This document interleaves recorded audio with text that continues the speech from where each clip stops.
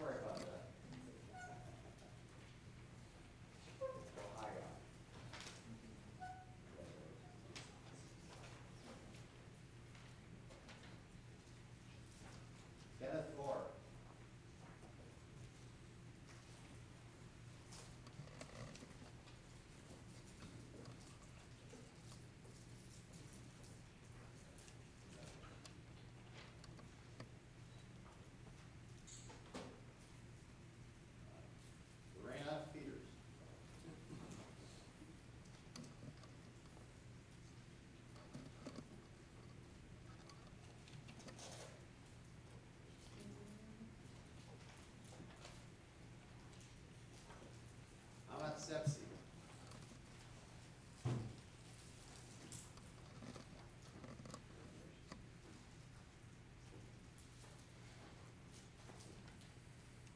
Deborah White.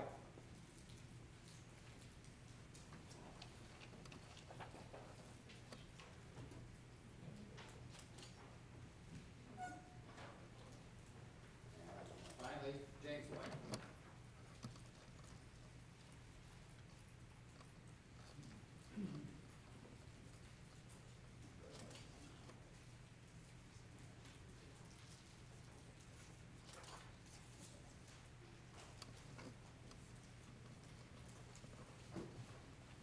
This is a privilege.